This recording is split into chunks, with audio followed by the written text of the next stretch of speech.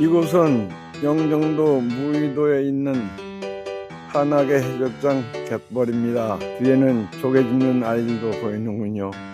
오늘은 날씨가 좋아서 아주 상쾌한 기분입니다. 오늘도 신나고 힘차게 운동하고 갈 것입니다.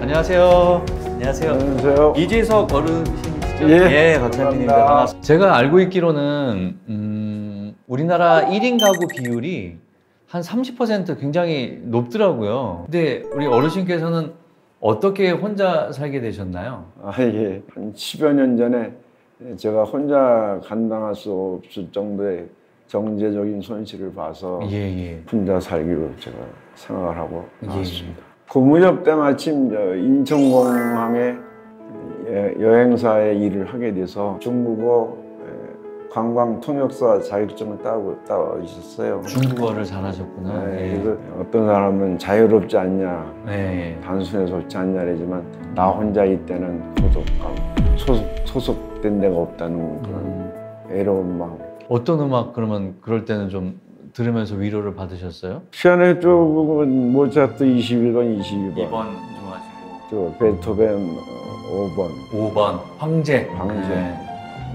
그리고 저 쇼핑의 저 쇼핑의 1, 1번. 1번. 음.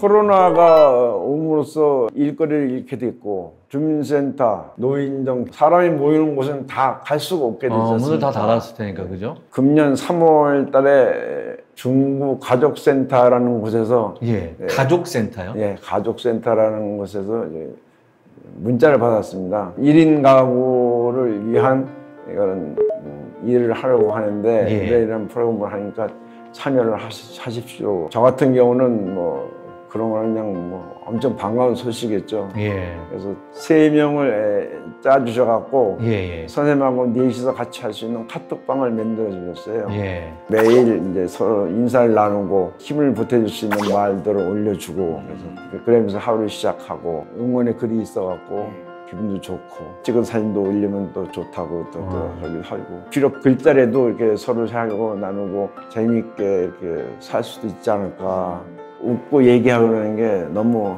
행복하다고 아, 느꼈습니다. 좋으셨어요. 네. 음. 문자를 누군가가 보내주고 같이 대화를 할 수 있다는 것만으로도 굉장히 힘이 되겠어요. 엄청난 힘이죠. 예. 1인 가구를 위한 프로그램이 있는 줄은 몰랐어요. 저도 몰랐습니다. 예. 어떤 것들이 있나요? 스마트폰을 가르쳐주는 프로그램이 생기고 캘리그라피 배우기 같은 것도 재밌었었고요. 그런 것도 있어요. 네, 그다음에 차를 마시면서 공부시켜주는 티 테라피, 단체 영화 관련도 한번 시켜주시고 그러면서 점점 우리가 가족이 될 수 있겠구나라는 그런 기대감을 갖게 됐어요. 프로그램에서 가장 기억에 남는 거 네. 어떤 게 있을까요?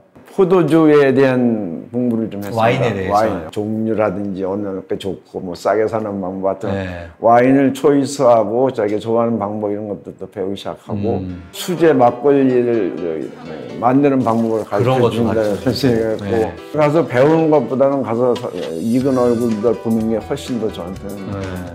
여성가족부에서 지원하는 1인 가구 사회적 관계망 지원 사업이더라고요. 네. 예. 인터넷에서 예, 검색하거나 주민자치센터의 복지팀에 가서 문의하면 이렇게 알 수 있을 거로 음. 생각합니다. 배운다는 것 자체가 일단 예, 마음이 뿌듯하기도 하며 뭔가 새로운 걸 새로운 걸 배우는 신선함, 좀 더 의미 있는 일을 하는 거 아닌가? 뭐 그런 생각도 하게 되면서 어딘가에 내 도움이 필요한 곳이 있으면은 또 돕는 일을 하면서 살아야 되겠구나 그런 생각을 하게 됐습니다. 더 활기찬 노년 보내시고 건강하시기 바라겠습니다. 네, 꼭 그러겠습니다. 네, 감사합니다.